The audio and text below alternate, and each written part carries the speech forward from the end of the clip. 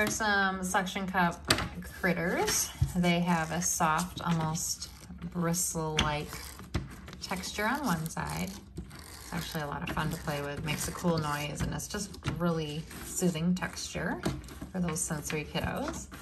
They look like a little caterpillar. They even have a loop loophole. And then they are the ones that you can press and stick onto any hard surface. And then pull it, they make the suction cup pops.